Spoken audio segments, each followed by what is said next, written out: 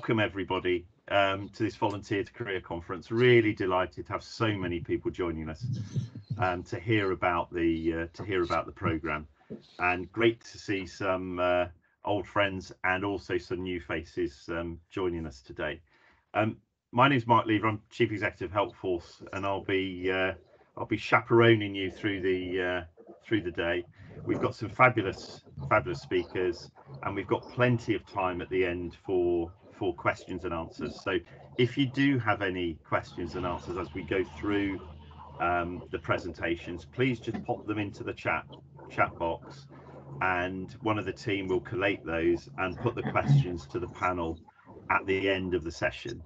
We're not going to have the opportunity to use the hands up function because there are just so many people here, um, as I'm sure you appreciate. Can you just make sure that you're all muted, please? Obviously, those of you who are going to speak, I want you to unmute yourselves because we want to hear what you've got to say. But the rest of you, if you could just mute yourselves, that would be really helpful.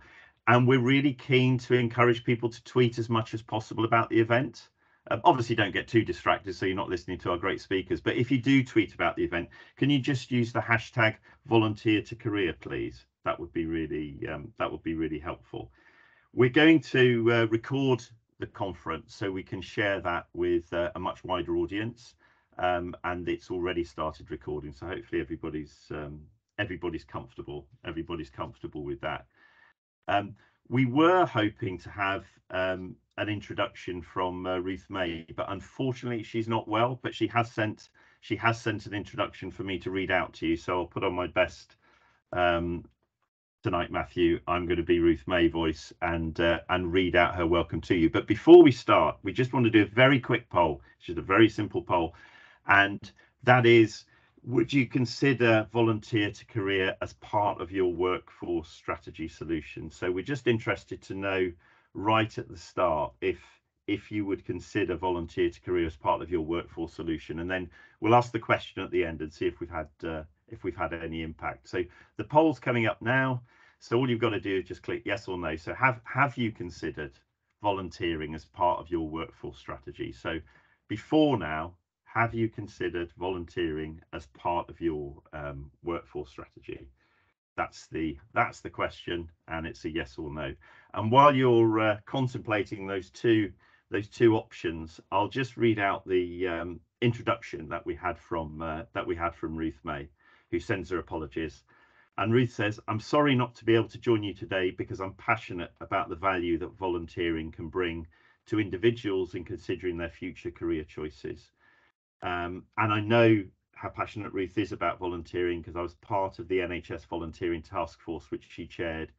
Um, and she was incredibly engaged with the whole volunteer to career program, and, and she's demonstrated that many times. She's grateful to Helpforce for, for facilitating this event and for contributing to Health Education England's work to strengthen the pathways from volunteering into the into the workforce. Um, she hopes that we'll all go away from today's event having shared ideas and inspiration, which will help us all to maximise the amazing potential of volunteering within within the NHS. And I know that um, having seen the speakers, I know that you will be inspired because we've got some really fabulous, um, really fabulous speakers with us uh, with us today. And I'll introduce those as we go through the um, as we go through the session. I do want to particularly mention two organisations and groups without whom this program would never have started. And the, the first one is at the risk of embarrassing her is uh, Debbie McEwen from South Tees, who, when we first started looking at volunteer to career, she was providing an inspirational level of support to volunteers and has seen hundreds of her volunteers go into employment and and it, it's it's not overstating to say that Debbie was a big part of the inspiration behind this uh, behind this program um, and the second organisation I'd like to thank is uh, the Burdett Trust for Nursing, because without their funding, we wouldn't have been able to do the work we do. We're only able to support the programme because we get funding from um, Burdett, which is a wonderful, uh, wonderful charitable trust that funds us. Um, and then latterly, um, the support that we get from um, Health Education England to continue the support of the programme is really second to none. So without having the funding from um, those funders, we wouldn't be able to do the work that we do. And frankly, it's seeing such a tremendous um, growth in the program. When we started, um, our first cohort, we had five five trusts in the program. Um, due to the level of interest and support that people want with the program, by March next year, we'll have 33 trusts in the program, uh, just phenomenal growth um, in those. And we'll hear hear from one of those um, later on this morning to hear their story and how they've um, and how they've worked with um, worked with the program and and what they think their um, the, the benefits are from the program that they've um, they've been working on with us. So we really appreciate that. We really appreciate that support. Um, before I sort of dive into the volunteer to career program, I know that there'll be a lot of you on here who probably won't know much about Helpforce, and I just thought I would say a little bit about us. Um, we're a charity that was set up nearly six years ago, um, initially to work with um, the NHS to help them promote volunteering, grow their volunteering roles, and importantly, increase the impact of their volunteering roles. So supporting NHS trusts to design volunteer roles that would have a significant impact on the health and well-being of patients, staff, and the volunteers themselves. Post-COVID, our work has stretched beyond the boundaries of um, the NHS trusts, and we're now working across um, whole systems. Um, and to do to give us a framework um, for our volunteering development activity, we've um, we've mapped out our Helpforce Back to Health pathway, which essentially identifies the four areas where we think volunteers can make the greatest impact for patients and staff um, for their health and well-being. So it starts with looking at ways in which we can engage and support community organisations to work alongside NHS Trust to support people while they're waiting. Um, it looks at volunteering opportunities to help people get well quicker in hospital. Um, it looks at ways in which we can work with community organisations and NHS Trust to help people recover well when they get home. So help them to get home quicker and recover well when they get home. And then ultimately to look at ways in which they can live well, um, working alongside public health agencies, um, social prescribers, link workers to support people to, to, you know, to get better quicker. And what we've found is with this back to health pathway, it gives us a great framework for working with, as I say, NHS trusts and other health and care organisations to explore how we can design volunteering roles to improve people's health and well-being and increase the impact of volunteering as we go along. And one of the trends that you'll see as we as we speak is this great focus on impact and measurement of impact. We know that without the measurement of impact, we can't get the attention of senior leaders, we can't make services sustainable, and we can't develop cases for investment, business cases for investment to support volunteering in the long term. So the measurement of impact is incredibly important to us as we as we go forward. And I want to start by sharing with you the emerging insights we've got from that first cohort of volunteer to career partners, volunteer to career trust that we've been working with, and really the impacts that have motivated funders to put more funding into this program and have motivated more NHS trusts to take part in the program as well. So early insights from the um, from our program. Nearly 90% of the volunteers who've taken part in the program to date have either secured employment in health and care or have moved on to further education and training in health and care. That is a phenomenal conversion rate. I mean, our feeling is that that way exceeds our expectations of the conversion of volunteers who volunteered within health and care settings and are now embarking on a career in health and care as a result of their as a result of their volunteering going forward. But then there, if you look behind some of those um, statistics and look at the other emerging in, insights, we've seen really high levels of sustained interest in um, in volunteering.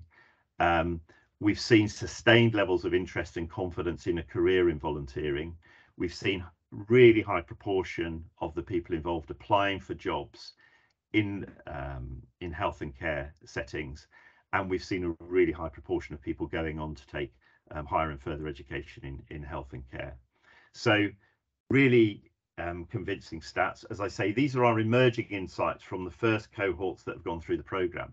What excites us about having 33 trusts involved in the program by the end of March is the scale of data that we'll see coming on board then and being able to have some really significant sample sizes and some really significant learning from the program to um, encourage others um, to get involved and see see volunteer to career not as a volunteering program but as a career development program and see it as a strand that supports um, the workforce challenges in health and care. We're not saying it's the solution to all the workforce challenges, that would be naive, but we do see it as being a strand to support the workforce challenges that we have there.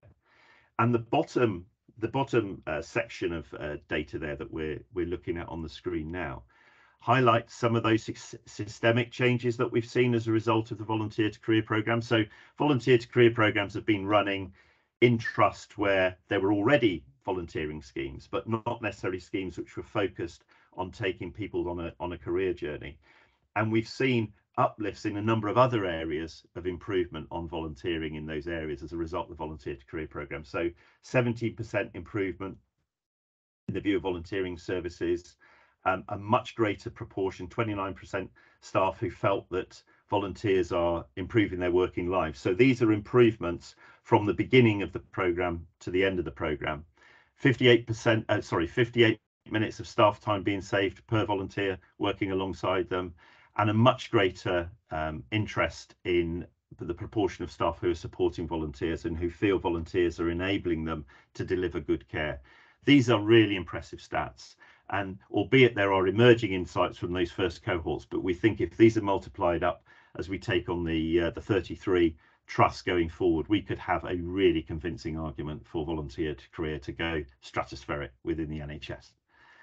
Um, just a word about the early stages of volunteer to career. Um, as I say, Helpforce um, worked with NHS Trust and we worked alongside NHS Trust to deliver intelligently designed volunteering roles designed to improve the experience of staff, patients and the system as a result of volunteering.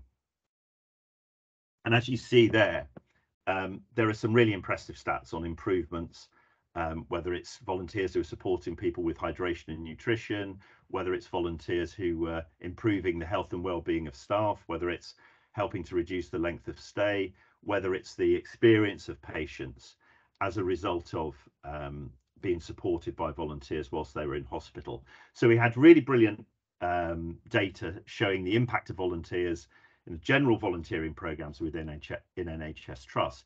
And what we noticed there was a number, you know, there were a number of volunteers who were starting to express an interest in careers in volunteering. And our early surveys of volunteers told us that, that really high proportion of volunteers interested in a career in health and care, but actually they weren't able to tell anyone about it and nobody was asking them about it.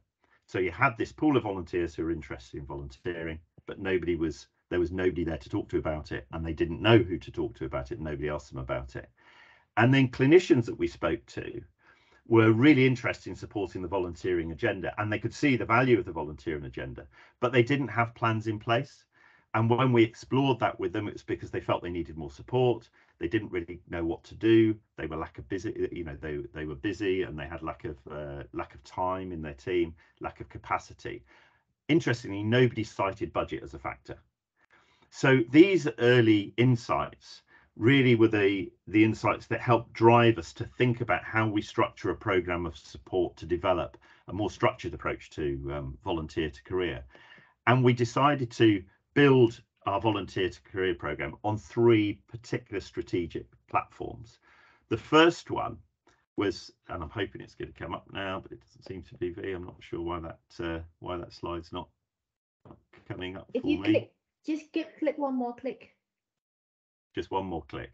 I've given it one more click. I don't know. Um, don't know, Sam, if you can get that. Ah, brilliant.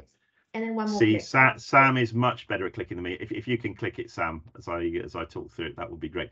The the first aim of the program was to make sure that we positively impact workforce recruitment needs um, at that local community level, and and we were really keen to make sure that the recruitment of volunteers reflected the diversity of the local communities where the programs were being run, because we saw that as being an important way of filtering through the workforce um, a more diverse range of uh, potential recruits. The second, um, the second aim of the program was to look at how we could deliver systemic change throughout the organisations who are participating. So that was making sure that clinical leadership were brought into the programme, that the environment and culture of the organisation was supporting and valued volunteers as part of the uh, uh, as part of the support for the workforce, and that the volunteer to career pathways were designed to attract and retain volunteers that were meeting local needs. And then finally, the third one was to enable us to capture the evidence and the best practice and scale and spread that through the use of case studies and scale and spread that at a local level so that the um, so that the program grew. I'm now going to take control of these slides back from Sam because I've got a very fancy button which will enable me to do that and then show you the three phases of the program that we developed to support that. So there's you know when you embark on the volunteer to career program three very distinct stages the development stage the delivery stage and the sustainability stage at the start of the program, it starts with our volunteer to career self-assessment tool, which is an online tool that allows you to answer a whole load of questions, which enables you to benchmark your current volunteering practices within your trust and produces you a report which helps you identify where you've got strengths and where you've got areas that need development. We've the second part of the development phase is a whole series of online training and development modules that will enable your clinical leaders who are involved in the program to develop the skills to implement a volunteer to career program. And it covers a whole range of skills from project management to strategic development to business planning. And then the third element of support in the development phase is the support of a helpforce mentor to the clinical to the clinical lead who's been identified alongside a tutor that works on delivering the uh, training and development programs for us in the delivery phase, the clinical leadership role and the funding for the program allows us to provide funding to support one of your clinical leaders to take on that role within the program. The clinical leadership role is critical and they embark on a full week training program which implements all of the various training modules I discussed, but it basically equips them with the skills to develop the program to meet the specific recruitment needs that you have in your trust. Our impact and insight team work alongside your clinical lead to ensure that an evaluation framework is put in place so that we can capture the data about the program and we can demonstrate the impact of that program as it moves along. And throughout the whole program, we've got support from your Help, Helpforce program manager who'll provide you with that support should you need mentoring, should you need any additional training. And we also facilitate, facilitate group discussions with other members of the uh, volunteer to career program. And then the final stage is sustainability, which is really important to us, which is the way in which we make sure that there's systemic change within your trust as a result of this. So volunteer to career is embedded within your workforce plans. We make sure that there's a business, we support you to develop a business case for future investment, and we support you to scale and spread the program locally. So three distinct phases in the program to, to support you. From the volunteers point of view, the experience is really well supported so that um, the volunteers have a, a well-structured induction and a resource pack to support them through the process. They work alongside the clinical lead to understand what their career aspirations might be, and they can choose the particular volunteering roles that would appeal to them. And then they're mentored and supported by the clinical lead throughout the program.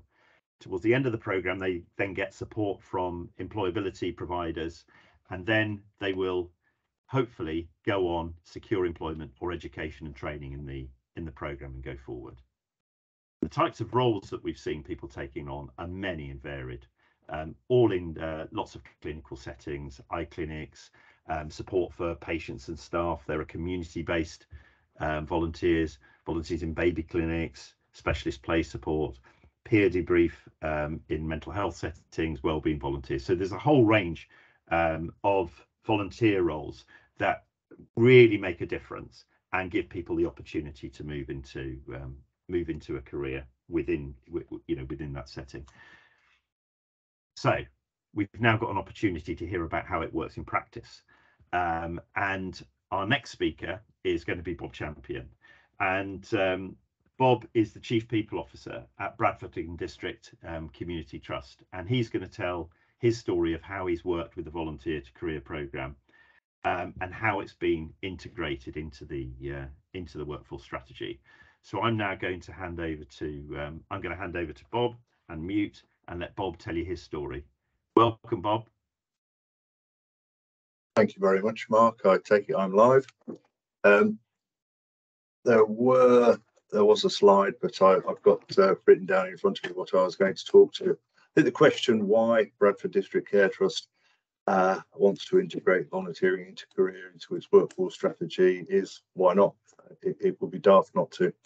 Um, and unfortunately, I've had experience of volunteering to career opportunities prior to this this program becoming invented. In in that um, uh, my story goes in that uh, in a previous life, I had an encounter with uh, Tracy from Dagenham, who was a CAM service user and was uh, frequently vocal about the quality of the care that she received and uh, the, the, way in which the organisation uh, that we, we worked within uh, um, supported people who had views and opinions. And, and, so it was no surprise to get Tracy engaged in uh, patient involvement, service user involvement work as a volunteer to help um, advise, particularly on our, our, on our recruitment methodologies.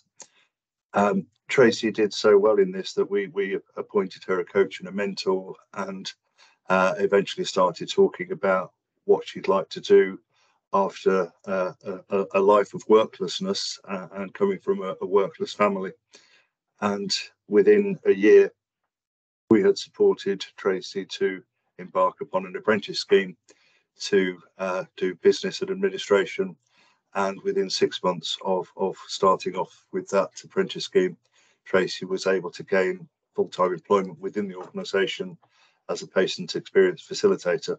So that's just a, a kind of a, a, brief summary of, of what could happen without putting any structure or, or, or kind of huge organisation around the programme. So I just wanted to talk about what the impact of this programme so far has been on Bradford District Care Trust uh, nowhere near as, as, as impactful as it has been in South Tees, and I think that uh, that record stands for itself in in that uh, uh it's uh, it's done very very well. Um, volunteering to career is very much in its infancy in Bradford, and um, so far we've we've actually converted five volunteers in, into full time employment. Um, across a diverse range of, of roles, uh, equally as diverse as the range of volunteering opportunities that, that one sees. So specifically in, in Bradford, we've, we've helped people move from volunteering into uh, training as a dietitian. Uh, one's gone on to work in the housing sector within adult social care. Uh, there's some work gained in, in GP practice world, uh, as well as in the volunteering sector. And we're also supporting another individual to go forward into a career in nursing.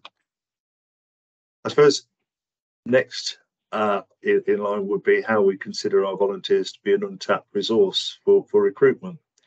And um, if you look at the reasons for volunteering, uh, particularly around help with recovery, help with therapeutic uh, interventions, and even the try before you buy uh, principle, there are a number of opportunities for people within the scope of volunteering to look at opportunities to work within within health and social care, and um, they're effectively a captive audience. So one to be nurtured and supported, uh, and also a cost-effective workforce solution. If you think that having people available to be considered for work experience uh, you have the captive audience, you have a reduction in potential advertising and recruitment costs, uh, a reduction in onboarding and pre-employment screening costs, and a, a, huge reduction in the onboarding time, expertise and, costs because they will have a greater understanding of the organisation from from either being a service user or, or volunteering within. And that in, in turn helps with the sustainability if we use our volunteer workforce within the local population from our local com communities we can have that uh, that supply chain effectively uh, and um, it helps to pe people to uh, consider employment opportunities directly from school or, or other education or later on in their lives. Um, I think from from our experience as an organisation, as, as I say, it is relatively um, embryonic. Um, we've been doing it for a year. We've got another cohort of um, people embarking upon the scheme now, and, and we hope to have the same similar type of success with them uh, uh as we have done with our with our first group, and we'll be looking to expand it uh, in in a way that creates a sustainable supply chain of, of people into careers within not only our organisation but the wider um, healthcare system and uh, including opportunities in, in the wider social care agenda. I think our relatively modest success has been down to application and a will to progress with this with this initiative. Uh, thanks to colleague Catherine, who's on screen here, and, and, her team, as well as the invaluable support and help from Helpforce, who have uh, enabled us to put some structure and, and, science behind our activities and to uh, enable us to have a, a sustainable way of, of, moving this program into business as usual. Uh, I think that's probably all I'd want to say on the subject. Uh, I will be supporting the Q&A sessions afterwards um, later on in the uh, in the session. Great stuff. Thank thank you very much, Bob. Um, the lesson there is never ignore Tracy from Dagenham um, you know, and and the opportunities that that, that present themselves. Bob Bob mentioned Catherine, um, who's um, a great partner for uh, for Helpforce, and she'll be joining us on the uh, on the Q and A session as well. So it, it, it's great to have the uh, the Bradford team the Bradford team here. I I think one of the things that um, really struck me um, about Bob's sort of reflections was that there is a much broader opportunity to um, look at the impact on HR costs as well. Um, so there's clearly an untapped um, resource for the for the workforce from volunteers. But actually, once you've got well-trained volunteers who are supported, that migration from volunteering into the workforce can you know can be really cost effective and can save time on recruitment as well. So I think there was a really good uh, really good points there. So thanks, Bob, and look forward to um, hearing questions that people have raised on your uh, on your presentation. Our next speaker is uh, Kirsty Marsh Hyde, who is the National Programme Manager for Apprenticeships at Health Education England. And she's going to talk to us about why Health Education England is so keen to uh, financially support the Volunteer to Career programme, but how it fits in with their own strategy as well. So over to you, Kirsty. Good morning and thanks, Mark. Um, lovely to be here this morning with everyone. Lovely to have this opportunity to talk about this. Um, I've got a, a, couple of slides and then um, I'll be around a little bit later as well. So I just wanted to give, as Mark said, a bit of context to why Health Education England supports the Volunteer to Career programme. Um, so if we can have the next slide, please, that would be lovely. Thank you very much.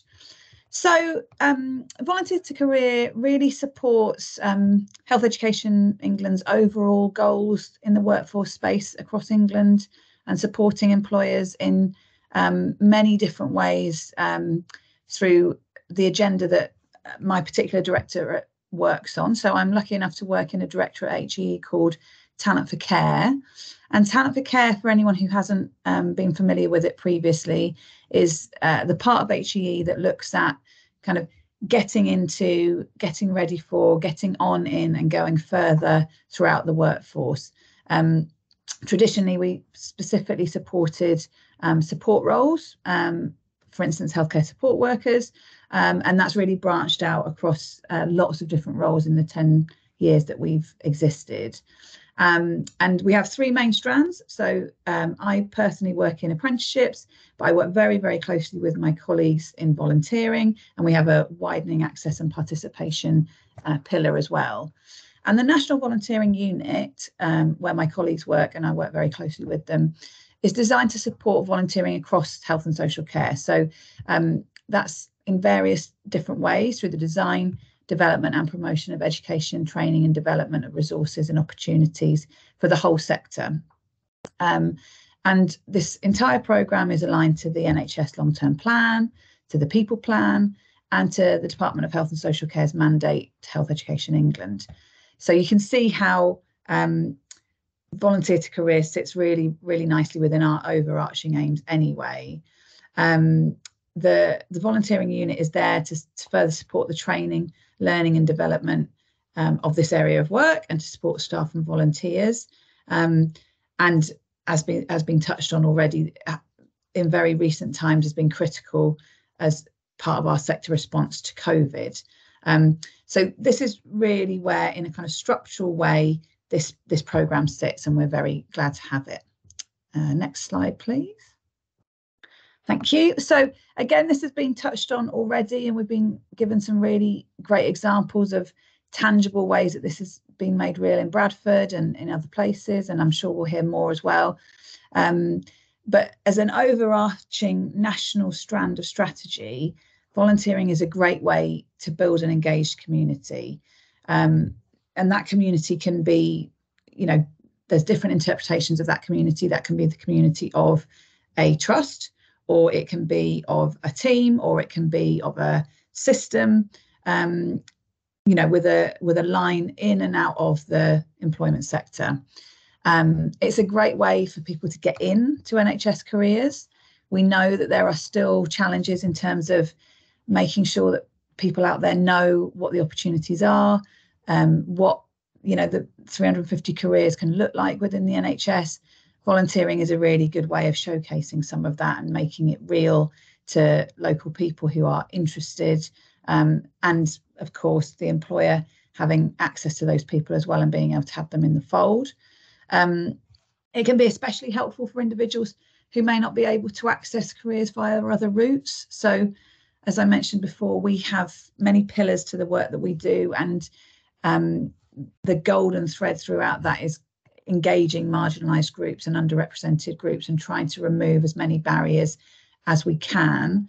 And as you can imagine, volunteering is a really great way that people who, for various myriad reasons, wouldn't come into employment in exactly the same way or haven't done previously can uh, go through that door and um, experience something. Some of the recruitment processes are slightly different. They um, can seem slightly less off-putting than other ways in, and uh, obviously this varies from from setting to setting. But there's a lot of ways that this can help people who are finding it harder to get into the workforce via other routes. Um, and it can be a stepping stone for young people who wish to explore careers in health and social care. Um, again, you know, uh, that first step on the ladder, looking at ways in. Um, you know, I'm sure we're going to talk a lot today about how volunteering is not just for young people, and you know, we wouldn't want to badge any group in any particular way, but it can be really, really helpful um, with that group, particularly with a specific focus. Next slide, please. So this is um, just a little bit about the how and, and what practically has happened under HEE's banner in recent times. So um, to date, we have 21 pilot NHS organisations participating in the review of the accredited National Volunteering Certificate. Um, and the certificate um, consists of 60 hours of volunteering in a job um, in a role plus e-learning training. Um, 5,000 NHS ambassadors have also volunteered their time to speak in schools, promoting NHS careers. So that's another aspect of uh, kind of volunteering that we support in terms of that wider piece of getting the world to know about what is available and what opportunities can be there locally. Um, and in partnership with Helpforce, we're currently funding 13 trusts to create innovative volunteer to career roles. Um, and has been touched on already, you know, very much embedded in local workforce recruitment needs, mapped to um, exactly what needs to happen in that setting. Um, you know, a flexible process that, as Marcus touched on and others have touched on, uh, works for that local employer.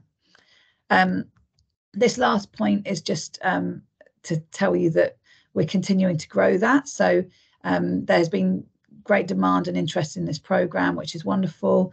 And there's now an opportunity for, for us to fund a further 10 NHS organisations to bid to join this program. So if you are not already part of the programme and you would like to be, or you'd like to be in the future, um, you can get further details by um, emailing the email address on this slide. Um, it's not a live opportunity yet, so um, this is to kind of register your interest, and and when we are able to share details, we will do um, through that method. So that was a bit of a whistle stop tour around um, Health Education England supporting this programme, but we're very very glad to be here, very glad to be part of this programme, and um, and hope that it goes from strength to strength. Thanks very much. Great stuff. Thanks thanks so much, Kirsty, and, and thanks for all the support that Health Education England give to the to the program. As I say, without it, we wouldn't be able to expand it going going forward. So we really do appreciate it. And I think it's, I think what you were saying is really helpful because it it gives it a context within the national um, NHS, linking it to the long term plan and other sort of talent for care initiatives that are going on, and emphasises that this isn't just a, a standalone program this is actually a, a program that is integrated into the longer term thinking of, of, of the NHS, which I think is important, but then is actually translated at a local level into local recruitment needs and the need to recruit a diverse workforce from the communities where those health and care organisations and NHS trusts are actually based. So I think it's really important that there's that link between the national strategy and also local local recruitment needs, which I think is really important. So um, thanks so much for that, and um, as I say, thank you for the ongoing support of the of the program. We've we've now got the main event. Um, we, we, have been talking about volunteers to career, but it would be great to hear the story of uh, one person who's who's walked this journey, um, and we're really thrilled to have Rosie Sullivan here um, to talk to us, and we really appreciate her her doing this.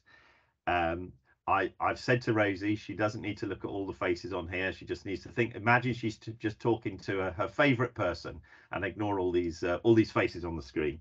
Um, but Rosie was a volunteer on the Volunteers Career Programme at um, Camden and Islington NHS uh, Foundation Trust, supported by the uh, the wonderful Joe Scott, again, who's a great partner of Helpforce. We've done some great work together. Um, but we all thought that it would be brilliant for all of you to hear the story, one example of a volunteer who's been on the program and has moved into a career and uh, hear Rosie's fabulous story. So Rosie, I'm going to hand over to you. You can unmute yourself and you can talk to us all about your brilliant story. Um, good morning, everyone. Thank you, Helpforce, for having me. Um, and Joe, I feel very nervous. This is my first ever. Oh, I can see Joe in front of me now. I feel a lot better. um, I feel quite nervous, but yeah so a bit about me. This is i have actually i've got a script but i'm just going to go from the heart because this is some a program that i'm just so passionate about. And it's opened doors that i never ever thought i would end up achieving and it's just incredible. So a little bit about me. Um, i've got my own lived experience of mental health which is what led me to camden islington and at the beginning, I was just about to give up on volunteering for the moment because I didn't find anything that was just right for me. And then I came across um, Camden and Islington and I started as a shop trolley volunteer. And I can't believe that a year later, I'm now a paid peer coach as part of a pilot scheme for the NHS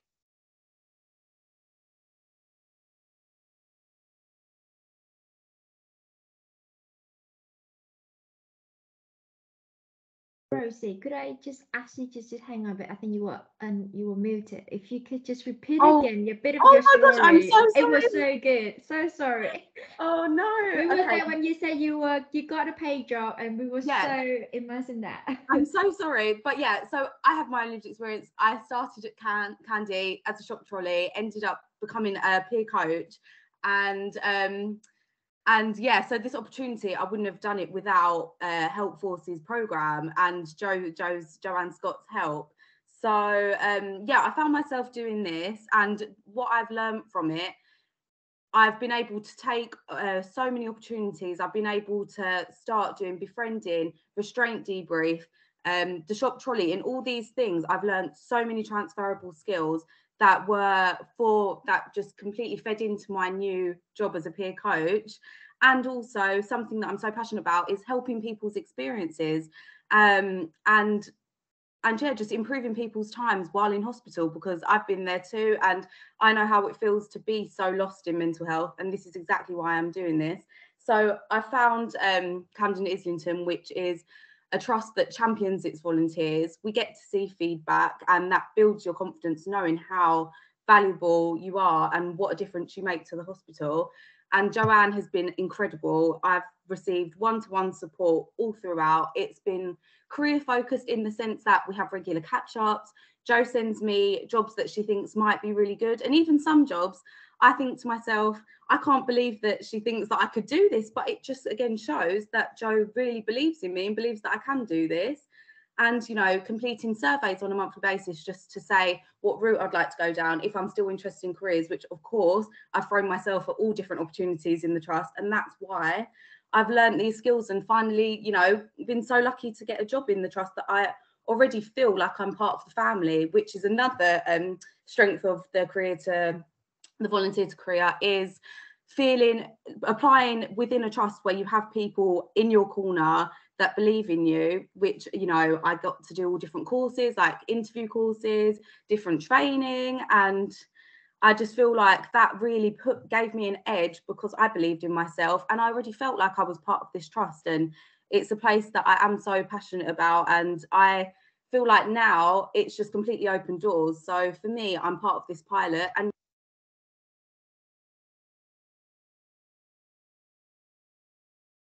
Rosie, you're unmuted again. I'm so sorry. Just? I, I didn't press that i don't know how that just not happened sure. Just a li- we just missed a little bit, but we're good now. I feel like I'm really thrown off now, if I'm honest. I don't know why that happened. My mouse is nowhere near that. Um, You, you're doing great, Rosie. Doing you're doing great. great. oh gosh, this is okay. So yeah, so to summarize, I've got my timer on as well, but I've had, you know, just incredible hospital-based experience. I've got to work with doctors, nurses, staff, service users, incredible volunteers, and I think for me as well to go in and do a restraint debrief, which I'm speaking with another volunteer one on one with a service user, and then we get to go up to a doctor, to a nurse, and that's not daunting. And that just goes to show how much this program instills that confidence that you know I believe in what I'm doing is really making a good cause, really for a good cause. Um, and yeah, just um, I, I wholeheartedly believe that any organisation which is interested in this go for it take advantage of the opportunity because you've got some incredible passionate volunteers especially if it's anyone like me i like to do as many opportunities as i can and it's evidently really worked out because now i'm starting this incredible um, pilot which is you know i could never imagined and that's all thanks to joanne and everybody at helpforce. And also helpforce just thank you for believing in me and having me as part of this incredible um this incredible program. Um i've just gained so much not only personal growth not only career growth but uni growth i'm able to go into hospital and it's like learning interactively which you know all of these things just thank you and yeah i just hope to keep growing and i'm so grateful to have been part of this so i hope that's okay Rosie, that that was fantastic. I'll tell you what, if, d- don't don't you worry about that. I'll tell you what, if if the career in health and care doesn't work out, you've got a career in the media. Um, it's uh, absolutely fantastic. Um, I I defy anybody not to have had a smile on their face while you were talking. I mean, Oh, it was just so inspiring. You did such a fantastic job, and and uh, and big big thumbs up, big round of applause for Joe Scott as well. Yeah. Because you know, great volunteers have great support, great leaders, and and, and Joe is certainly a, a, a great supporter. I know she's a great supporter of you, but a great leader of volunteering there. So, Rosie, fantastic. Thanks so much for Thank doing you. that. And you did you. If anybody, nobody would have thought you were nervous. Nobody thought you were anxious about that. You came across brilliantly. So thank Good. you. Thank you very much, everyone. No, thank you, thank you. Um, wow, God, I feel sorry for the person who's got to follow that, Maeve. Um, so, but uh, just just uh, while Maeve's preparing herself, um, I, I was going to say if you if any of you are interested in talking to us about the program, if anything you've heard has sparked an interest in the program, do put your details in the in the chat box. If you, I've seen lots of questions going in the box. And we'll have a Q&A session uh, Q&A session shortly. But to, we're monitoring the chat box all the time, so if you're interested, do put your details in there. and we will uh, we will get in touch with you.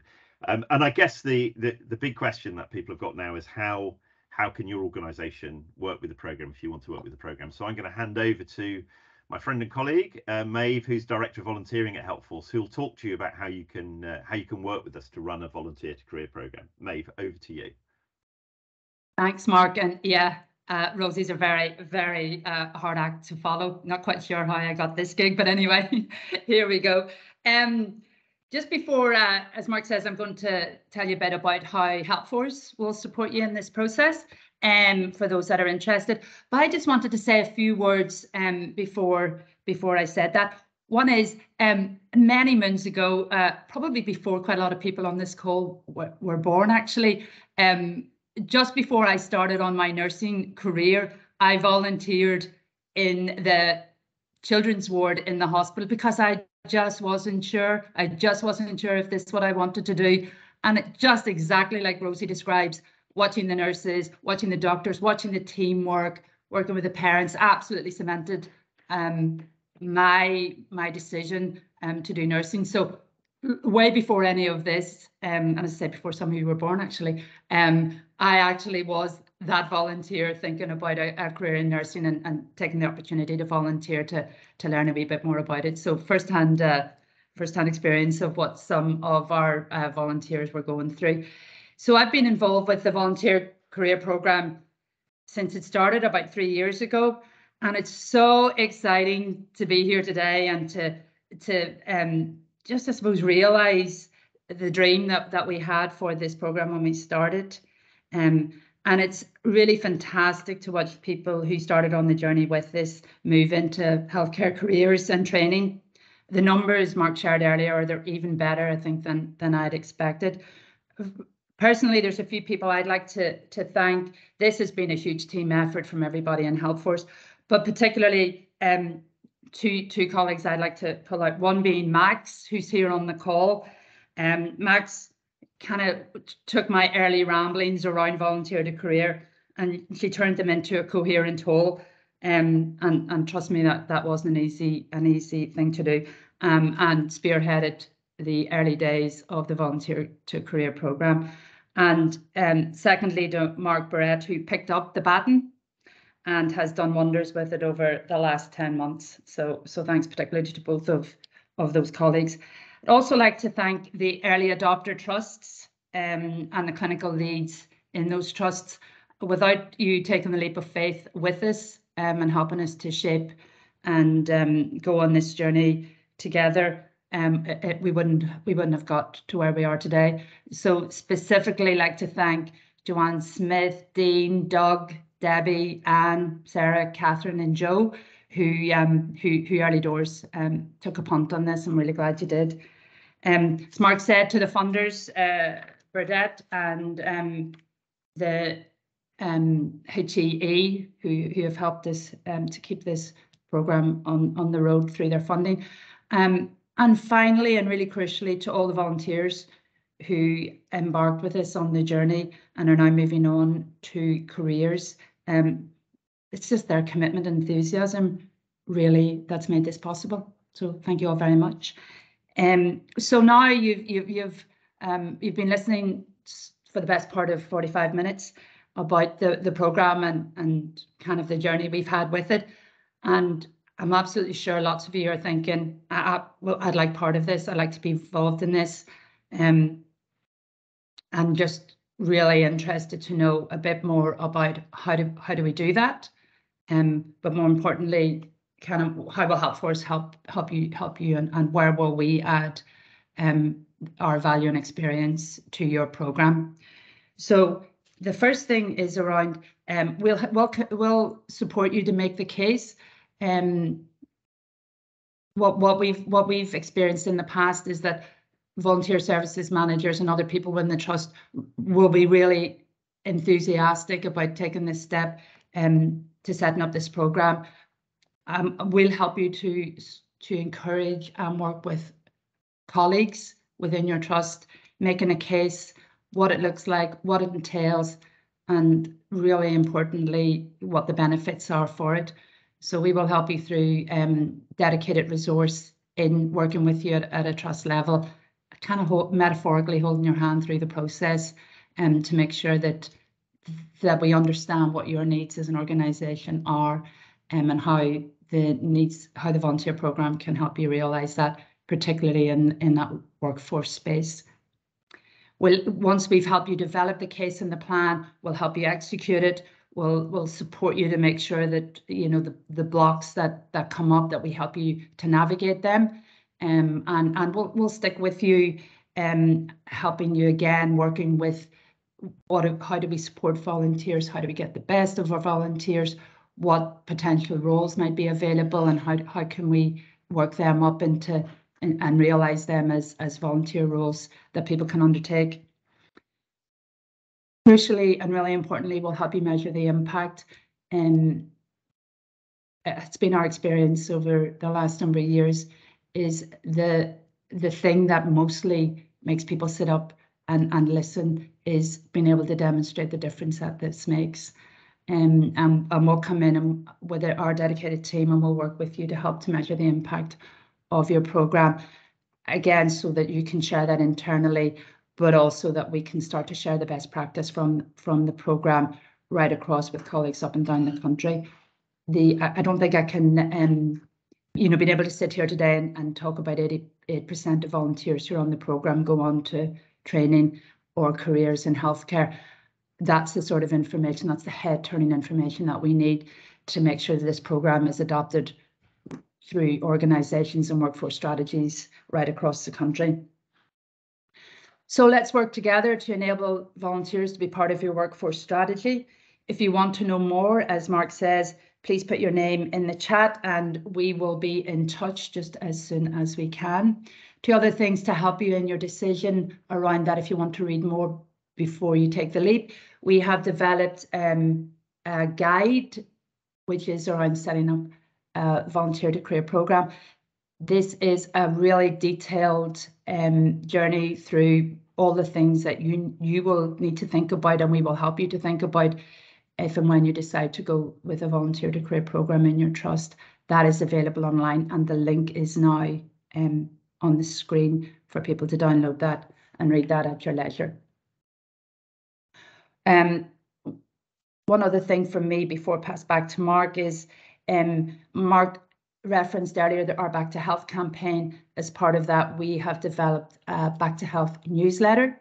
And in that newsletter, we are um, updating people on the different projects that we're working on and the different organisations that we're working with. Um, we would really like the people on this call to share that information with them. So if you'd like to subscribe to our Back to Health newsletter, please tick yes. You have no no option. You'll notice there yes option. So so so tick the box and we'll make sure to keep in contact with you so you can see the whole um see all of the work that Helpforce is doing, but but also the progress we're making against the volunteer to career project also. So thank you all very much. Um, as I said, it's just um, really great, really great to be here today um, and to share this project with all of you. Thank you so much for your interest and I'm going to pass back to Mark. Thanks, Maeve. Great stuff. Yeah, it, it, as Maeve said, if you're interested, you might not, you might feel you're not ready for it now, but just to be kept informed by uh, receiving the newsletter and just keeping in touch with us, very happy very happy to do that. And um, we've had uh, great response um, from the trusts we've we've worked with. Um, and as I say right at the start, that would only be possible with funding from Burdett and Health Education England. And sincere thanks to our wonderful, wonderful funders. Um, it's not easy when you're setting up a new program to know where it's actually going to go, but um, I, th I think we've managed to use the funding that we've been given to try and develop a program that's got traction and scale, which is uh, which is always important to us. So you have all been putting questions. There've been loads of questions in the uh, the chat box. So thank you all for doing that. And our wonderful head of our Helpforce network, Sally Williams, has been frantically going through all the questions to try and group them together so that she can she can run the Q and A session with the uh, with our panel. Um, so joining the people that you've already met today, um, our, our speakers today, we've got um, three folks who've already been uh, who've already been trailed um, during the uh, during the session. I'm really pleased that I, I mentioned Debbie uh, McEwen, who was uh, who was really the inspiration for this program. Um, and Debbie's going to join the uh, Q&A panel, and she's the um, I've got to read this the interim nursing midwifery and allied health professionals workforce lead at South Tees um, Hospital NHS Foundation Trust. So very big welcome to Debbie. Lots of experience of getting literally hundreds of volunteers into employment. We've got um, Catherine Jowett, who's head of charity and volunteering at, at, at Bradford, um, working with Bob. Um, Catherine's been really engaged with the Helpforce uh, volunteering programs and uh, has really had a successful cohort one. So we've always appreciated Catherine's support and feedback and delighted that she's on the panel. And we've also got the wonderful Joe Scott um, from Camden and Islington, who's the who, who I think you you're in a new role now, Joe, and I'm hoping that I've got your new job title right, which is Patient and Care Experience and Engagement Lead for Camden and Islington NHS Foundation Trust. So congratulations on the new role. Great to have you here as well, sharing your experience. Um, and as, as I say, you were working alongside uh, Rosie. And we've also got our very own Mark Barrett, who's the program manager for uh, Volunteer to Career. So delighted to have Mark as well. Um, so I am now going to shut up and hand over to Sally, who is going to chair the uh, questions and answer session, which is possibly the most difficult job of the whole morning, Sally. So uh, good luck with that, and I'll uh, No pressure. I'll I'll leave Thank- you to it. Thanks, Mark. Um, firstly, thank you all for your questions. There's some really great ones, and I'm going to do my best to direct them to the person who's best placed to to answer them. We won't go around the whole panel, but we'll go to the person who is most likely to be able to give a um, an answer straight away. So I hope that sounds okay. Um, the first question was uh, was quite an easy one actually. Lindsay asked if um, the program is available in Wales. The short answer to that is is yes. So um, Lindsay, please do put your details in the chat box if you'd like someone to get in touch with you.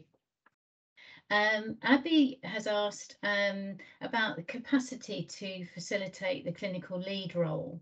Um, it, it, she feels it may present staffing challenges, and there's been a couple of people asking questions on a similar theme. I wonder if we can go to Debbie um, about that question because you've got the longest track record so far. Could you could you help Abby with her query, Debbie? I can. Abby, are you you're on the call? Just will you just tell me again, Sally, the query? Yeah, so um, Abby's asked about capacity, how, how you organise the, the capacity to facilitate the clinical lead role. How does that work in practice? Um, does it present staffing challenges for the team? Um, I mean, I think it's probably I'm in an easier position um, facilitating this because of the kind of clinical impact of of my role um, and having that connectivity with the clinical staff in within the departments where the volunteers are going to be. Is that what you're asking? How we manage the the volunteer flow in the clinical areas with the capacity of Um, the clinical I- staff? I, I think so, and, and also how do you organise the, the staffing to accommodate that clinical lead role and that shift across to to managing the volunteer side of the operation? So at South Tees, the kind of general day-to-day management is completed by our volunteer coordinators. So they will do the allocations and the staff know in advance who's coming. So because the induction, the orientation, all of the the role is already covered by the um, the volunteer coordinator, when they're actually going into the wards and departments, the hard work is done in effect um, because they've got the little flashcards of what they need to be doing, the different types of roles they can do, how they can um, support the staff and the patients in the department. If I think about um, the project that we had with Helpforce in ED with our wellbeing volunteers, we did have a link nurse in that department who the volunteers could go to and who the volunteer coordinator linked with directly. So if there were any issues whilst in the department, they kind of took the lead for that and in their absence, they had other delegated staff members. I'm not sure I'm answering the question Oh, correctly. No, that's great. Thank you, Debbie. Um, I'm also going to ask Catherine, would you be able to give a, uh, your perspective on that question? Um, yeah, I mean, I think you're right. It is a challenge. Our um, clinical lead was actually a health visitor, um, and that negotiation of releasing her clinical time um, from a from a service area that is massively understaffed and under significant challenges um, you know, we had to get, you know, her managers and, and actually that sign off from their side. Um, she actually only worked three days a week, so she did two days a week on volunteer to career and she kept, kept clinical work one day a week. Um, it was a challenge, but actually the value and what she gave back. Um, so through the project that we ran, we were able to reopen some baby clinics that had been closed due to COVID and actually staff were really struggling to have the capacity to do that but through this program and her time actually being able to do that and bring volunteers in meant that actually the time that she was taken away from kind of clinical work actually was put back in in another way so it is about kind of realizing the impact and the benefit um, of you know yes clinical time is incredibly valuable but the funding is there to backfill that so you know it is that kind of the funding is there to backfill as long as you can get the staff to backfill, which is part of the challenge. Um, so yeah, it, it is really difficult. And actually, uh, the second time she's now doing a second project, and actually the, the team actually went, we can't we can't second her. They'd closed down any op- common opportunities. So she actually handed a notice in as a health visitor and is working fully on volunteer to career now. So it's it's challenging it is challenging and it is about the conversations and understanding actually what that role gives back and because she was delivering it in her area they could see the benefit and the value thanks catherine um, I, I, think this is a really important question um, i just want to oh mark mark b would you mm-hmm. like to come in there Thanks, Sally. You saw my hand.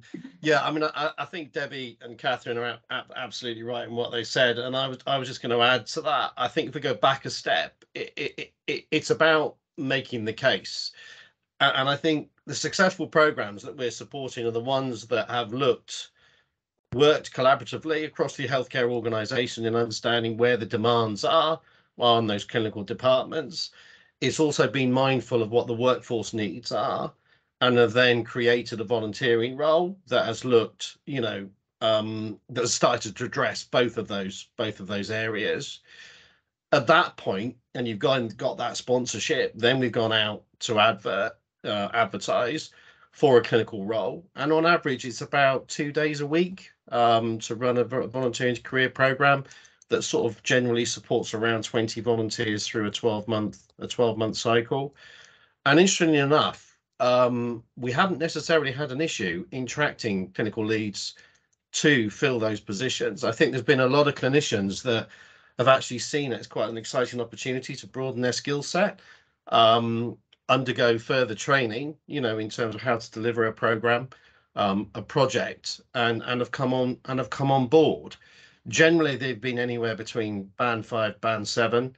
Um, I'm probably answering lots of questions here because there was another question there in terms of well, what types of clinical reads clinical roles are have people have applied for and they've come from nursing um, healthcare assistants there's there's there's been a whole range of of, of, of roles um, that that that, that uh, clinical leads have come from to step forward and, and and run the program but again i think it comes back you know to that see gaining that senior buy-in making the business case understanding the governance the steering group and supporting that process all the way through that has proven to be you know, successful for cohort one, certainly, and the current 15 programs that are running.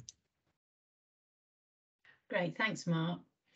Um, I think we should move on to another question. Um, Jean has asked how how people go about sifting volunteers. How do you go about selecting the best people for the roles and to meet the needs and the aspirations of the organisation?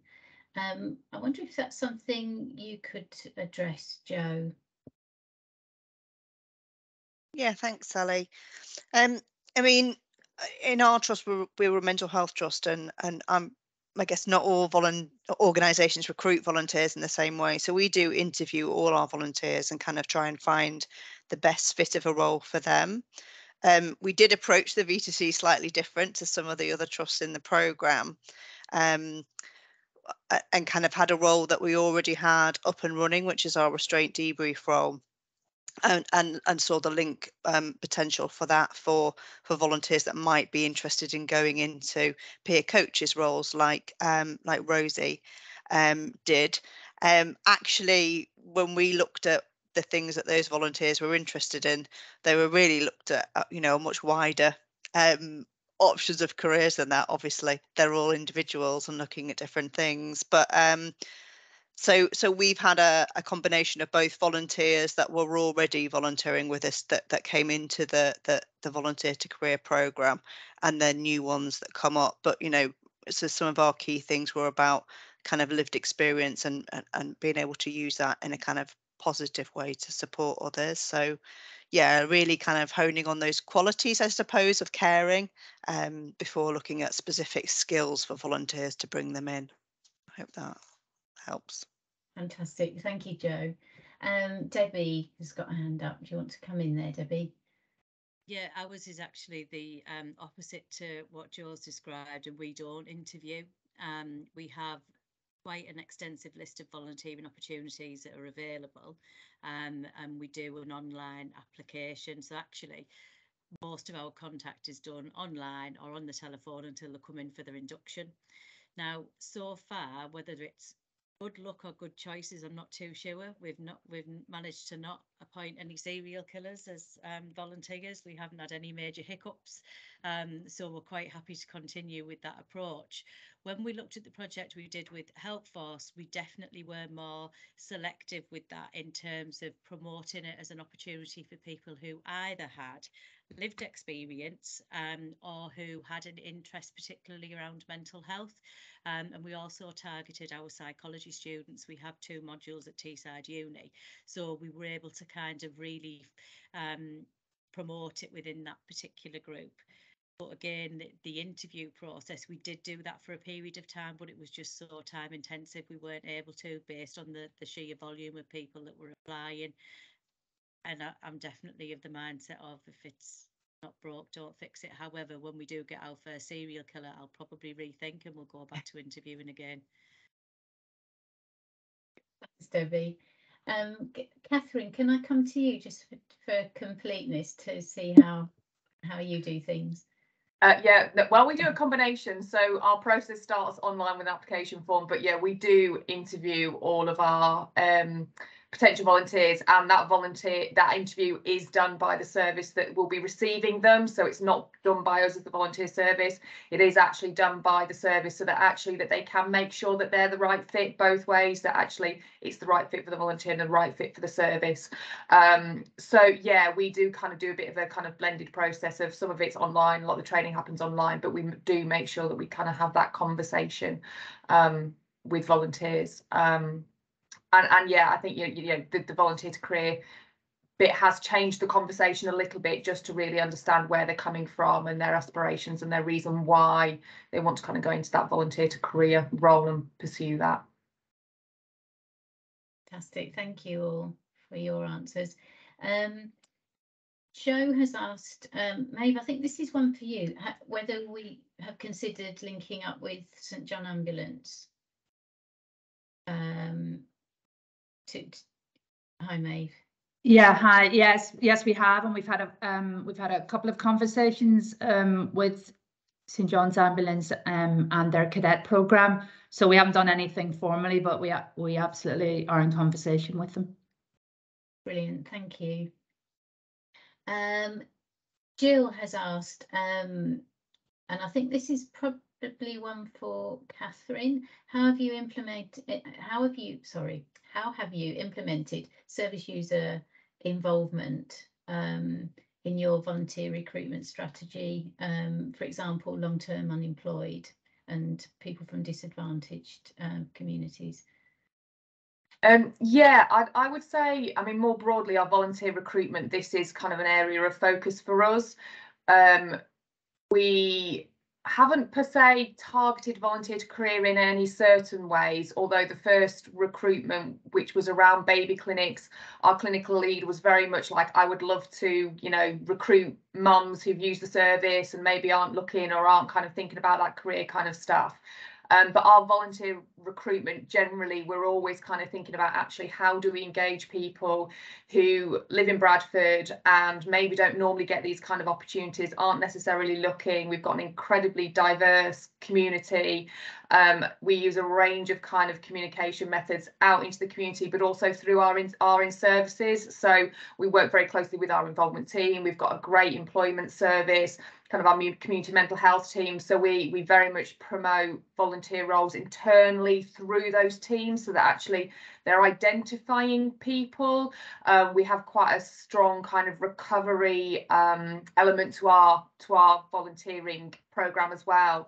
And actually we have people who come through that kind of recovery element, but then move on to thinking about volunteer to career. So I think it's it's it's broadly an area that I think always needs work. You know, we, we're never going to have completely kind of gone, yes, great, all of our volunteer recruitment is co completely inclusive and we can always do more. But I think, you know, we've got a real sense, um, not just through volunteering, but as a trust and as an organisation, as a sector, that we want to grow our own in Bradford. We want to engage people in Bradford and give them opportunities and keep them in Bradford and keep them within our health, health and social care and, and you know, employing our own. So I think it's, you know, it's one of those th aspirational things that there's always more work to do, but we just try and engage in as many different ways as we can um, to make sure that we are giving people opportunities. And, and I say, you know, the volunteer career bit is still very new for us.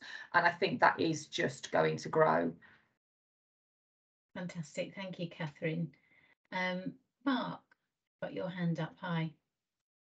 Well, thanks, Sally. I was just going to expand to that a little bit more, because it, it, it is a really exciting space, and and we are seeing a bit of a, a, a shift in the in in in the demographics of volunteering, where VTC organisations are, are, are actually proactively engaging more so within the community to build referral partnerships um, for specific um, demographics of volunteers for the VTC program.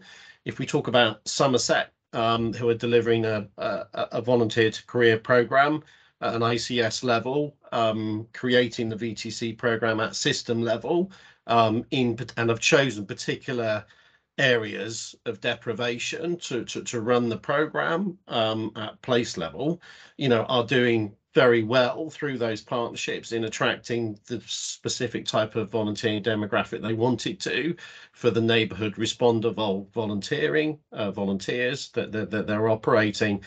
And I think that we're talking to a lot of organisations that as well that have aspirations around running a special educational needs um, volunteering to career type program. Um, so yeah, it's it's all emerging, um, but there's a there's the opportunity there to develop these specific types of of of, of volunteering career programs. Quite an exciting space, and of course, all of this, you know, supports with regards to health inequalities. And and it helps healthcare organisations by taking on and attracting those volunteers to represent, you know, the local demographic um, uh, represented through their patients um, in, in terms of the support um, from, from, from volunteers from the local community. Thanks, Mark. I'm going to go to Debbie. Hi, Debbie.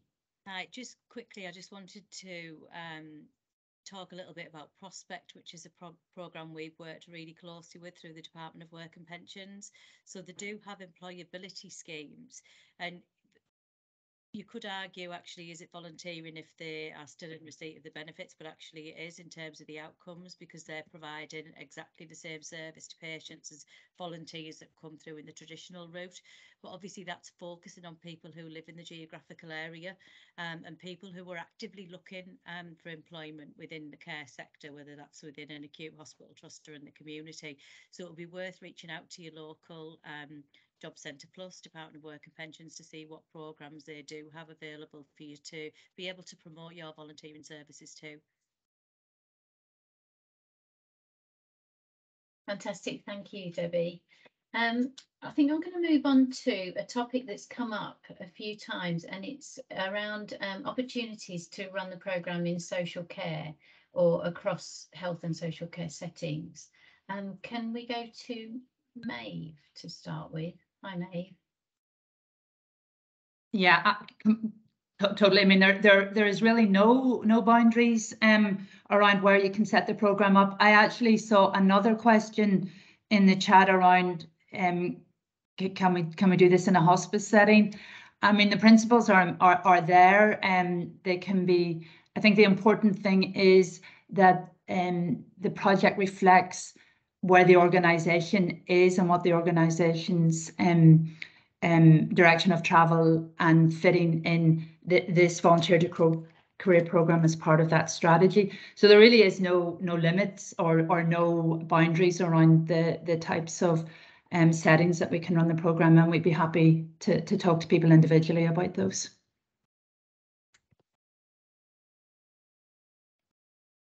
Thanks, Maeve. Catherine, hi. Oh, yeah, um, yeah. I don't know whether you wanted me to just pick up the. There was a question about ICS as well, and, and working across the ICS with this. Um, we haven't quite gone to ICS as yet, although we've had a lot of conversations. There are other trusts in our ICS that are doing this, and we we've had a lot of positive conversations promoting this. But we are working at place, so we're now delivering a second volunteer to career project within our AHP services, and it was our AHP lead who recognised there was an opportunity to work at place, so with our two acute hospital colleagues. Um, so we're now delivering, or first recruitments are happening, but we've developed volunteer roles uh, with Airedale Hospital and BRI Hospital and with ourselves, and we'll be recruiting volunteers to those roles. Um, with the idea being that volunteers can, can move around and get different experiences of different types of AHP roles.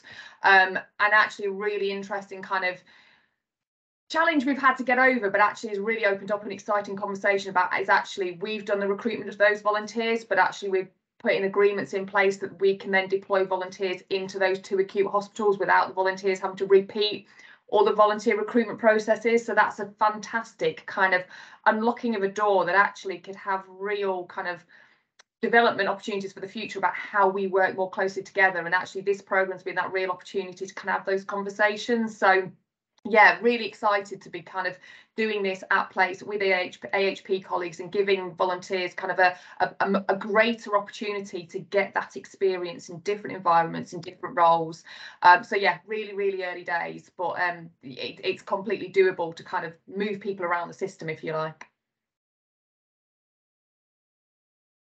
Brilliant, thanks, Catherine. Um, can I just um, mention if anyone has a question, if you could use the chat box, please. So we're taking um, hands up from people on the panel, but if you're in the audience, um, it would be great if you could use the chat box for your questions and we will get through as many as we can by the end of the session. Thank you. Um, so we have um, quite a, a short question from Jean about the length of time it takes or could take from becoming a volunteer to progressing to an employed role is is there a kind of yardstick or is it um, as long as a piece of string i wonder um, perhaps joe in your capacity as uh, as um, rosie's volunteer manager would you be able to help us with that one yeah, I mean, I think it's really individual um, for people. We've had people go on to careers with us pre the volunteer to career program and project, if you like. Um, that definitely took a lot longer than it has done for volunteers that have been involved in the V2C. So I think having that structure and support for people has really helped people be able to progress quicker to where they want to go. I mean, as a mental health trust, though, we have a lot of volunteers that are maybe more focused on on the recovery. And Catherine talked about a similar thing in her trust now.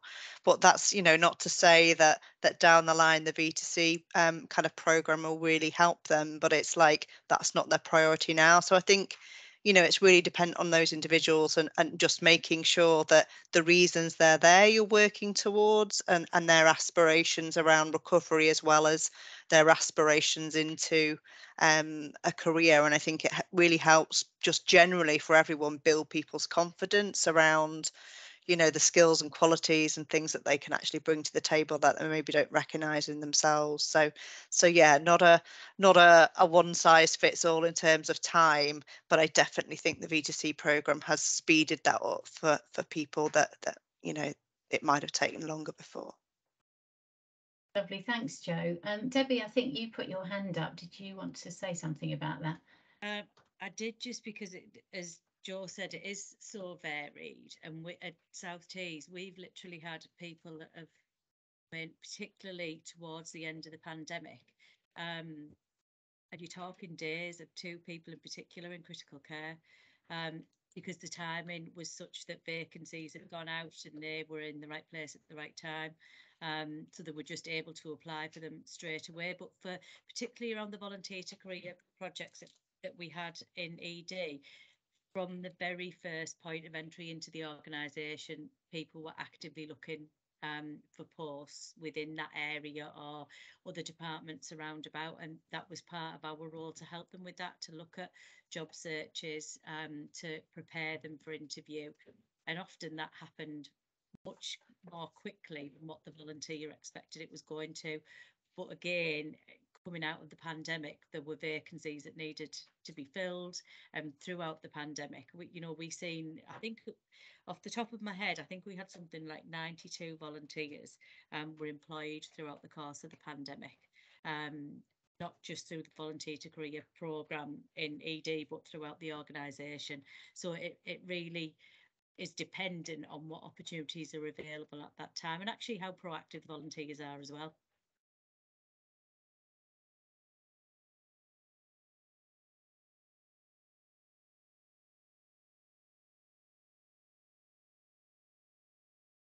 You're on mute, Sally. Thank you, Mark. I was just going to ask Max if she'd like to come in there. I think you've got your hand up, Max.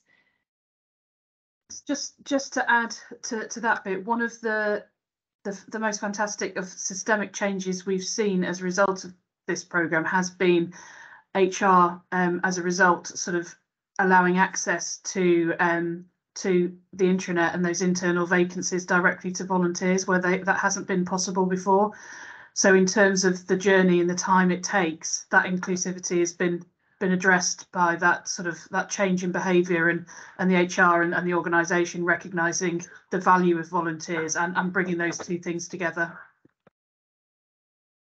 Thanks, Max. Really helpful. Thank you. Um, we've got a question from Ruth, um, who's asking about entry requirements um, for the programme and also does it give opportunities for accredited learning for volunteers to help them on their employment journey? Um, Mark B, would you like to start with that one? Um, yeah, sure, Sally. I mean, I, I, I don't think that, that there are or have been any entry requirements really, other other than that when the, the role has been advertised, you know, participating organisations have followed the current processes and policies in place in terms of recruiting and, and inducting and onboarding. I think that's the wonderful thing around the VTC program. It's almost as though it's like an extended interview for some volunteers to spend time and understand the the culture of the organisation, both have a look at each other as well as spend that valuable time with clinical leads, you know, and understanding in terms of what direction they want to go. And listening to to Rosie's story and so many other volunteers on the VTC program, you know, result in that increased interest, confidence, um, and, and ambition. So other than the volunteer or the applicant expressing an interest in that particular type of volunteering role, um, everything else is is, is is is is is by the book. What was the second part of the question, Sally? Um, it was to do with um, opportunities for accredited learning as part of the programme so that um, volunteers have something to help them with their employment pathway.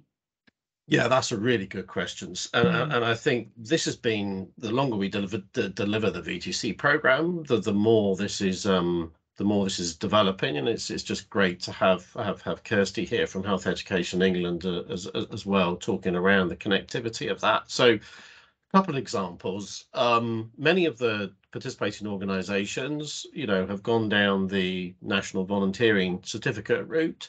Um, asking volunteers to, uh, to, to to volunteer for about 60 hours, I think it is, um, and um, and and have the opportunity of securing that certificate at, at, at the end of it.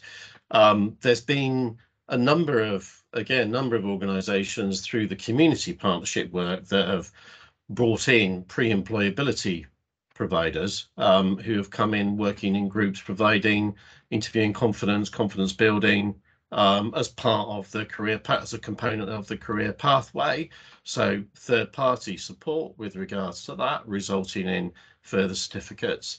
Um, and, and linking to the talent for care from Health Education England, you know, we're in discussions around how can the VTC program weave into their widening access and participation agenda um, and other programs, whether it be um, the um, again national unit volunteering, but but also uh, volunteers moving through onto apprenticeships um, and using the VTC program as a stepping stone to move on to apprenticeships and so forth. Um, and we're looking on a local level or, or in relation to the specific type of volunteering role, what other courses and and and uh, can, can volunteers go on whilst they're volunteering? So, yes, is the answer to that question. Short Thanks, Mark. I think we've probably got time for uh, perhaps one more question. Um, Emma has asked about examples of clinical lead job roles. Um, what kind of people could could be a clinical lead in the volunteer to career program? So, um, Debbie, do you want to start? I think Thank you. um, I'm not nurse bias, um, and I'm not going to say just nursing because actually any um, registered healthcare professionals could take the lead on um, on, on the clinical lead role. So the, the clinical lead we had was actually a mental health nurse um, who that in an acute trust was not normal practice for us, I guess, because we didn't have it. Um, so there were lots of differences in her approach um, and what my approach would have been as a registered general nurse, but actually it really complemented um, how we could deliver the programme because of her level of expertise. But I guess the, the successes that we've experienced have, abs- have absolutely been that colleague to colleague support um, and that kind of can you do me a favour approach. Um, now, whether that's been with a nurse, an OT, a physio, when you're going at it from that kind of level with registered healthcare professional to registered healthcare professional, it just seems to work um, more effectively. So I would build it into whatever the, the clinical role is anyway. So for for me as a clinical lead and for Megan who was a clinical lead, it was part of our day-to-day role. So using kind of volunteers as part of the workforce strategy. That's how we could evidence that it was something that needed to be part of our day-to-day role. Fabulous. Thanks, Debbie. Um, Catherine, could you give us some, I know you've already touched on your uh, main volunteer um, clinical lead role, but do you have any other examples you could share? Yeah, I mean, when we actually first rec recruited our clinical lead, we actually put it out to the whole organisation. So we created the role and basically said we're looking for a passionate clinical lead in a clinical area where there are staffing challenges, which let's face it is everywhere, and that we could see the opportunity for good volunteer roles. We had three clinical members of staff from different roles in the organisation apply, and we went with Joe, who's a health visitor, because we could see the opportunities within kind of health visiting. So yeah, I mean that the advantage of her delivering in the area that she was familiar with made a huge difference that initial project. But actually, she's now moved on and is actually delivering the project in AHP. So it's actually not her now area of specialism. She's closely linked with the AHP lead. So she's the AHP lead is bringing all the contacts and all the rest of it, connecting her in with everybody but she's still going in as that band seven health visitor clinician. Um, but yeah, in an area she's not familiar with, she's going into hospital, she's used to going into people's homes. So it, for her, actually, it's also now a massive learning curve of having to do that and in different environment. But yeah, she she kind of still has that clinical background and yeah, that kind of credibility and understanding around those that clinical work. So um, yeah, I, I think you you know it can come it can come from anywhere. Your clinical lead can come from anywhere. I think it's finding the right opportunity, the right person. Um, you know, our clinical lead is phenomenal and so so passionate about this agenda that she just made it work despite you know challenges and barriers across along the way but she was the right person and i think that's just really important find that right clinical lead who really gets it and is passionate about it fantastic thanks catherine I think we're going to have to wrap up. Um, I just want to thank everybody for your questions. If there's any that we haven't managed to get to, um, apologies, but we will gather them all up and we will respond as best we can to you after after today. Um, thank you also for those who've um, expressed an interest and put your details in in the chat box. Um, Mark, just to Mark B, just to finish with, Sarah has asked about role descriptions for clinical lead roles. If there's a way we can gather some up to share as part of the, the package that we share after this, I think that might be useful for people, which is something for us to think about. Um, yeah. So thank you, Mark.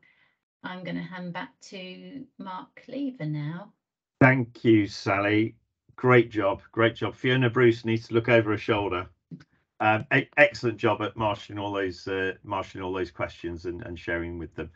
I, I think what it what it highlighted to me was the level of interest in the program is just phenomenal, which is great, but also the collective insights that everybody's got and the uh, the fact that whilst it's a national program, there's lots of local nuance and lo lots of local variation, and the power of a network bringing folks like you with such great experience together to learn from each other is a really important part of the program um, and we're you know part of that program is to is to continue using all of your insights and sharing them as we go forward. Um, i want to thank everybody for attending. We've had massive attendance today and really appreciated that. But in particular i want to thank our speakers. So great um, insights from bob from kirsty from health education england and of course from rosie and from maeve. And to our expert um, panelists who did such a great job in answering the questions. So Debbie and Joe and Catherine and Mark and others who contributed as well. And we've got a final poll just to see if you would now consider volunteer to career as part of your workforce solution so we can see the before and after that would be really helpful. Um, I want to thank the wonderful Helpforce team for not just developing the program and making the program real, but for actually putting on this event as well. So great job, team. Um, really good job. Really impressed with that. And I think my final my final word is to is about Rosie. I think Rosie, if you want to have the spend your afternoon on a high, read some of the comments in the chat box um, and and just see what people are saying. Absolutely fabulous. And you know, we know the NHS is facing tremendous staffing pressures, but my goodness, if they're recruiting volunteers like you into the workforce, then I think we can all look forward with a great deal of optimism. So thank you all so much for your contributions today and for coming along to the event. We really appreciate your support. Thanks for all the interest you've shown in the in the chat box, and we will uh, we will keep in touch with you and let's really make get this program to get some traction as we go forward. Thanks everyone, and have a great rest of the day. Thank you. Bye now.